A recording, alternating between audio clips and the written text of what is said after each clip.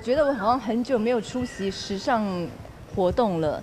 之前有参加过一次，可是是骑脚踏车比较健康的装扮，所以这次想说一定要扳回一城，因为我很怕时尚界的人忘记我也是走在时代的尖端。落地胸开高叉，辣妈小 S 性感出席大宴活动，让现场的人都眼睛大吃冰淇淋。所以我就说，我说你看，S 跟我可以不在，你们要放心，就是收视率还是会这么好。结果伟忠哥就就是流露出悔恨莫及的表情。但是那是康熙以来一直有的招牌，我们来代班。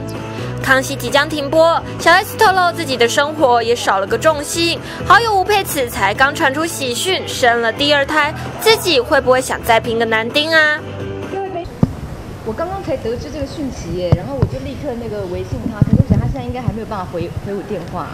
我我最近又腻了耶，开始最近就好像没有那个兴致哎，然后小孩也都有很多事要麻麻，就是烦女儿功课，然后又要什么舞蹈比赛，然后老从小荧幕挑战大荧幕，又要拍电影，又要顾小孩，小 S 真的很忙啊！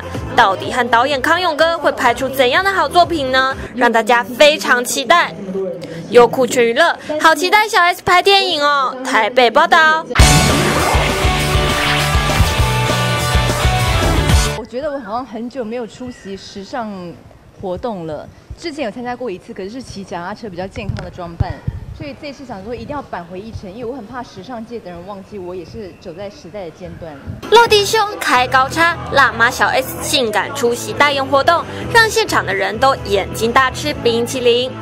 所以我就说，我说你看，S 跟我可以不在，你们要放心，就是收视率还是会这么好。结果伟忠哥就就是流露出悔恨莫及的表情。但是那是康熙以来一直有的招牌，我们来代班。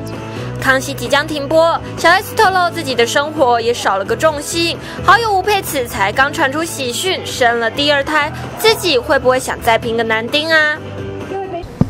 我刚刚才得知这个讯息耶，然后我就立刻那个微信他，可是我想他现在应该还没有办法回回我电话。